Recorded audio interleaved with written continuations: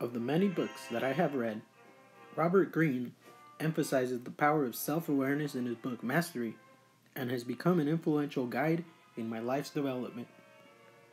The Men Who Built America is a documentary series on self made businessmen such as Henry Ford, Cornelius Vanderbilt, John Davison Rockefeller, Andrew Carnegie, and John Pierpont Morgan, who found their life's calling mastering their potential in their respective industry. Self aware of my passion for art and design at an early age, I continue to create and leave footsteps on the path that I have taken into the art world.